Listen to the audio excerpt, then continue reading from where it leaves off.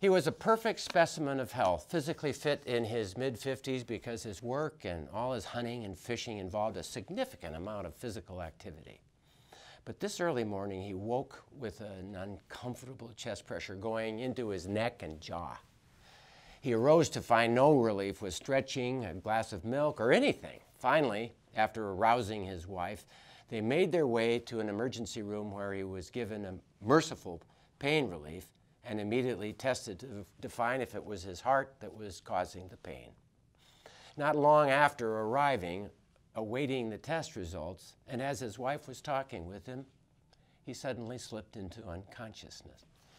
It was there on that cold midwinter South Dakota pre dawn hour that he died, despite all the best resuscitation efforts of the emergency room team. Likely due to an arterial blockage and an irritable heart muscle, the symmetry of his heart rhythm had changed into one of pure chaos that wasn't effectively pumping blood, and he just wouldn't be converted back to normal again despite every effort. The value of rhythm is never more evident than during a cardiac arrest. The definition of rhythm comes from Greek roots of rhythmos, to flow, and rhyme, meaning any regular, recurring, pulsing, a succession of contrasting elements occurring over various periods of time. Think of the rhythmic experience from some speech and verse, rhyme and song, drum and dance.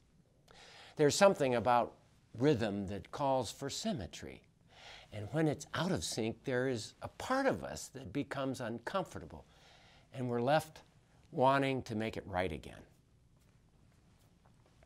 It is interesting that the rhythm of walking, running gait, of breaking waves on beach, or of heartbeat pulse all match common musical rhythms of the Beach Boys, Beatles, Blake Shelton, Beyonce, B.B. King, Simon and Garfunkel, Smokey Robinson, Stan Getz, The Supremes, Taylor Swift, and Benny Goodman.